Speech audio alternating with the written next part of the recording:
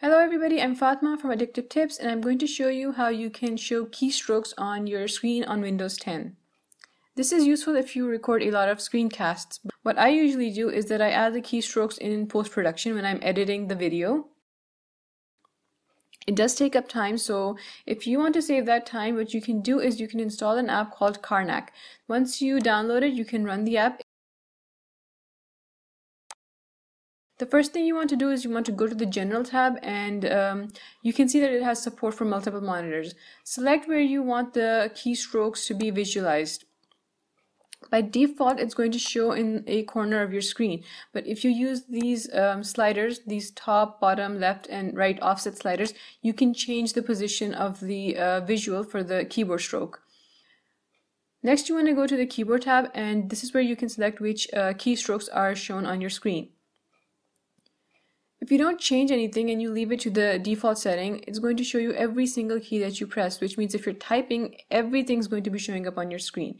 If you only wanted to show you uh, the keyboard shortcuts that you're executing, you should enable this option called Show Only Modifiers. And you can also play around with the color of the visual that you get on your screen for the keystroke. And last, you want to go to the mouse tab. Now, uh, the app also shows you mouse clicks. It's going to show you if you've uh, right clicked or left clicked.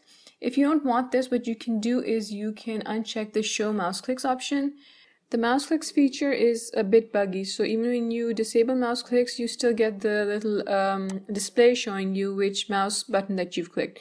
If that's what's happening, what you should do is you should um, reduce the stop opacity slider to um, 0 and you should change the circle fade delay to uh, 100 that's the minimum value that can that you can set for both these sliders.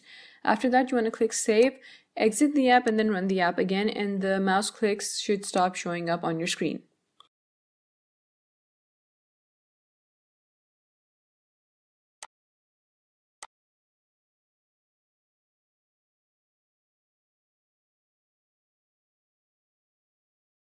That's about it. I'll see you later with more tips and tricks for Windows 10.